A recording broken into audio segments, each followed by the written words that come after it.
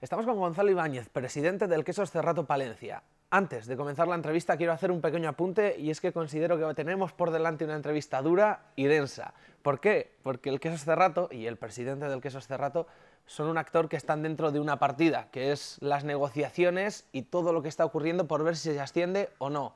Todavía no hay nada decidido y creo que desde el club pues tenéis que jugar el papel que tenéis que jugar y eso hace que seáis un poco previsibles en este tipo de entrevistas. No lo sé. Pues sí, bueno, realmente mm, se ha confirmado la noticia que todos esperábamos, la noticia que yo creo que es el punto de inflexión para, para buscar esas soluciones y evidentemente hasta que no tengamos las cosas definidas y claras, pues no podemos hacer muchas suposiciones. Nosotros lo que sí que vamos a hacer es intentar defender nuestros intereses. Previa a esta salida de esta resolución, nosotros hemos hablado con todas las partes eh, que intervienen, Consejo Superior de Deportes, Federación, y ACB y lo que sí que vamos a ver es qué movimientos y qué, y qué, qué actuaciones hay y estar atentos para defender nuestros intereses. Durante unos meses en los mentideros se llegó a rumorear que la ACB no iba a recurrir, que probablemente este año afrontaría un cambio. Sí que ha recurrido. ¿Recurre para tener una posición de fuerza en las negociaciones o sorprende? No, yo estaba convencido que iban a recurrir. Lo que pasa, yo lo que entiendo es que ellos recurren para defender también sus intereses, pero lo que es evidente que es que esto es hay que ponerlo ya en, vigor, o sea que no vale cautelarmente dejarlo, sino que esto ya después de esta resolución, pues esto tiene que ponerse en marcha y otra cosa es que ellos recurran esta decisión y, la multa, supongo. Si recurren, la Audiencia Nacional les podría dar una cautelar que es probable, lo dicen desde, desde, desde la propia comisión, es probable que se la den a los 400.000 euros de multa, que solo tengan que avalarlo, pero es extraño que la Audiencia Nacional dé una cautelar sobre una decisión de competencia, es decir, que el canon y el fondo pueden estar fuera este verano. Yo, yo esa es la idea que tengo y antes de salir esta resolución estábamos en, esta idea, ¿no? que aunque, aunque recurrieran, esto era de inmediato la, ponerse en marcha la resolución. Voy a ir a, creo que es una de las preguntas más importantes, eh, ¿se van a guardar los, de los ascensos del año pasado? Pues eso es lo que nosotros pretendemos. Nosotros y Melilla pues llegamos a un acuerdo con ACB eh, en, que el año anterior, dado que todavía no estaba esta resolución, pues dejarlo un poco en stand-by. Eh, nosotros hemos, eh, nos hemos preparado, el Ayuntamiento ha puesto su parte con el arreglo del pabellón y yo creo que se dan todas las circunstancias para que haya un acuerdo y que se y se tengan en cuenta un poco los derechos deportivos tanto de Palencia como Melilla del año anterior. Lo que más le puede interesar entonces al queso Cerrato es que suban tres, por ejemplo, baje uno, se vuelva a hacer par. Lo, hombre, yo creo que 18 equipos tiene que haber el año que viene y yo creo que lo que hay que hacer, evidentemente hay muchas cosas y muchos eh, muchas circunstancias como quién sube, qué equipos son los que logran el ascenso directo este año y, y el de playoff. Hay un totu revolutum, pero lo que sí es evidente que hay que buscar una solución para que se mantenga un poco los derechos deportivos de Palencia Melilla, los de suban este año y aunque sea transitoriamente uno o dos años, pues se logre una manera de que, de que esto se arregle y queda definido para los años posteriores. ¿Se, ¿Se, tienen más opciones de subir si este año ese segundo puesto, el puesto que sea por el playoff, lo gana Melilla o lo gana el Queso Rato? Hombre, evidentemente. Y depende también que quede primero y que quede segundo de qué equipo... Dando, por descontado, claro, que Guipúzcoa gana, que todavía está por ver. Bueno, lo tiene bastante bien, y Guipúzcoa gana, y a ver, hasta ahora no, no se ha manifestado claramente lo que haría si en caso de subir. Alejandro Alcoba el otro día, la semana pasada, eh, en uno de los diarios locales de Melilla, eh, decía que no veía claro que le guardasen la plaza de cara al año que viene, que habría que volver a ganar, que habría que volver a subir. Bueno, es una impresión de Alejandro Alcoba. Diferente a la de Gonzalo Ibáñez. Evidentemente. También le quiero preguntar por, por, la, por, la, temporada. ¿Cómo parece que no se va a quedar campeón? Las probabilidades son, son muy remotas de, de, que se quede campeón. Después de haber ganado una liga, parece que no ganar la siguiente sin haber subido es un fracaso. No sé si para usted lo es. De ninguna manera, fracaso de ninguna manera. lo que queríamos era hacer un equipo competitivo, el equipo a ser competitivo.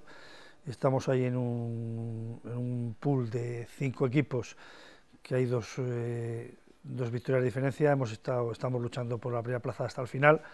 Evidentemente, pues hoy eh, la valoración al final de año lo haremos, pues no, evidentemente no puede ser la del otro año, pero fracaso no. Eh, yo creo simplemente vamos a suponer que hubiéramos ganado los dos últimos partidos en casa, que no es mucho decir, que hemos perdido uno de un punto y otro de dos, ahora mismo estaríamos líderes. Es decir, que ha habido mucha igualdad. Cuando acabe la, liga haremos la valoración global un poco de la temporada, pero digamos lo que pretendíamos que era un equipo competitivo que, que luchara por el título, evidentemente estamos ahí.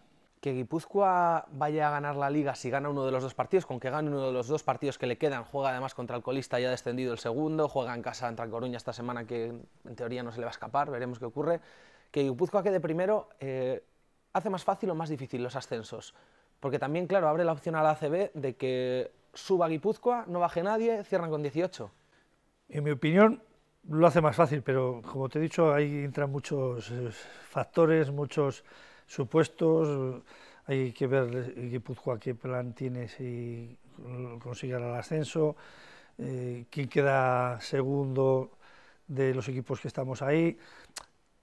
Está por ver. Cada, hay muchas, digamos, hay como muchas eh, frentes abiertos y muchas situaciones y, campos diferentes. Entonces eh, está muy abierto el tema.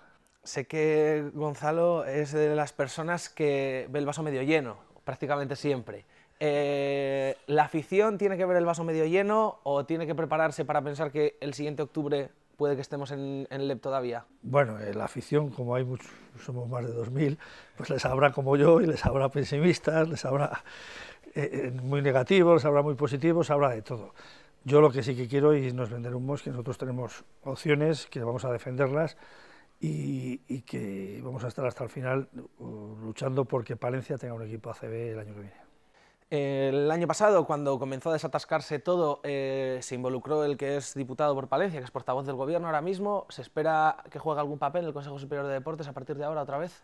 Bueno, pues digamos el ministro de Cultura, siempre cuando eh, el otro año, eh, cuando hemos hablado con él y, le contamos el problema, pues fue igual que el Consejo Superior de Deportes, pues muy, muy receptivo a escucharnos como club y escuchar la problemática. Por el fondo, nosotros estamos luchando por Palencia, pero yo entiendo que esta resolución es muy buena para el baloncesto español, es decir, que se arregle el tema de flujo de equipos, de equipos de, ámbito federativo a equipos del ACB, pues eh, yo creo que era una cosa que, que, era muy anacrónica y que había que solucionar hasta ahora siempre nos ha recibido bien, hace poco también... ¿Con Lete qué tal? Con el, director del Consejo Superior de Deportes también fue muy receptivo, pues ellos ahora con el baloncesto pues tienen muchos frentes abiertos porque hay mucha problemática, pero yo creo que es un hombre de baloncesto, entiende el problema y, yo creo que va a intentar darle la solución mejor posible.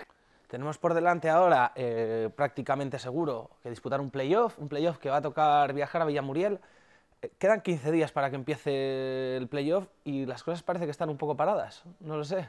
No, yo creo que no. Yo creo que está bastante preparado. Eh, ya tenemos un poco la, infraestructura necesaria para hacerlo.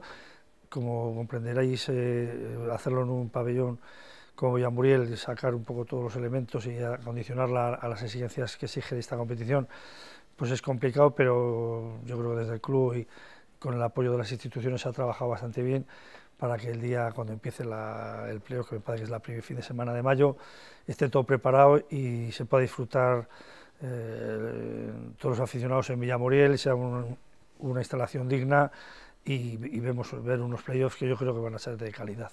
El equipo no sé si tendrá que entrenar incluso algunos días antes, si va a intentar que el traslado sea un poco antes, porque creo que desde el pabellón tienen que llevar las canastas, que imagino que tenga su complejidad mover todo eso, tienen que... Todo tiene su complejidad, canastas, eh, marcador y algunos eh, elementos técnicos como el túnel, y, pero vamos, lo más problemático es poner el, parque que ya está preparado, no sé exactamente el día que va a ser, pero vamos, ya está hablado para ponerle, prepararle es un parque muy bueno y yo creo que, que el día que estemos allí eh, los aficionados van a disfrutar de un buen baloncesto y, en unas condiciones eh, correctas. Terminamos, yo creo que son eh, dos de las preguntas del millón, que se harán muchos aficionados que nos estén viendo en sus casas. lo primero, ¿entran todos los socios en el pabellón? ¿Podemos empezar por ahí? Vamos a ver, nuestra, nosotros la composición que hemos hecho del lugar cuando hemos hecho las previsiones es lo que hemos vendido habitualmente otros años en partidos de playoff. En otros años en partidos de playoff pues vendíamos unas 1.100, 1.200 entradas. Eso los socios estaría garantizado su, su, su, presencia en el pabellón. Evidentemente es un problema, lo que vamos a ir paso a paso y evidentemente en función de un poco de, las circunstancias. Eh, si, hubiera cambios y fuéramos progresando en el playoff y viéramos que la instalación se queda pequeña, pues hablaríamos de intentar hacer otra solución, pero yo creo que, yo creo que hoy por hoy eh, el pabellón de Villavoriel es lo ideal para nosotros. Porque la petición a Valladolid se ha hecho, no sé si se ha dejado a un lado sí, o sí, si sigue... Sí. No, no, no, en Valladolid hablamos con el patronato de deportes, a los cuales quiero agradecer su colaboración y se les ha informado que íbamos a jugar aquí, pues oye, también para que se dieran disposición de ellos. Pero, por ejemplo, por lo que le he entendido entre líneas, si se llega a la final y es mucha gente la que quiere ir, ¿puede ser que toque ir a Valladolid? ¿No se sabe? Pues hombre, veríamos a ver. Es decir, si llegamos a la final, Mario, y hay 5.000 personas que quieren ir, pues le plantaríamos, pero evidentemente nosotros pensamos que por la experiencia de otros años, el pabellón de Villamuriel nos va a valer casi seguro. Y a nivel de desplazamientos y demás, infraestructura ya logística. Eh... Sí, bueno, estamos proveyendo un poco todo, le hemos solicitado también un poco al ayuntamiento pues que refuerce la línea de autobuses que existe con Villamuriel y, y todos los digamos, inconvenientes que hay por organizar un, un, partido fuera de nuestro ámbito, de nuestro...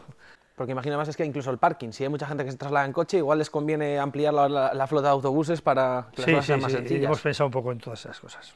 Vale, o sea que tendremos anuncios en breve también, ¿no? Con... Sí, sí, sí, irán un poco detallando un poco todas las, las previsiones y, la, y, las cosas. ¿Nos hace falta suerte entonces para este verano? Nos hace falta eh, que la afición siga teniendo fe en el baloncesto palentino, en el equipo, que siga apoyando, que sigamos yendo más de 2.000 personas al pabellón, que si se lograra subir a ACB, pues de esos 2.000 nos pasáramos a, a 3.500, 4.000 que haya ilusión por el baloncesto, que es la clave, te, no sé si te lo he comentado muchísimas veces, y lo que nos hace seguir. En caso de que no hubiera eso, pues evidentemente pues, eh, no, no, no, tendría mucho sentido toda esta historia. Bueno, creo que hemos sacado, Gonzalo, más conclusiones. Era pesimista yo, a, veía el vaso medio vacío al empezar esta entrevista. Vaya fama tengo. Vaya fama. Pero bueno, creo, mético, pero bueno, creo que sí que hemos sacado algún titular, que todos nos hemos enterado de bastantes cosas, así que muchísimas gracias por habernos atendido. A vosotros.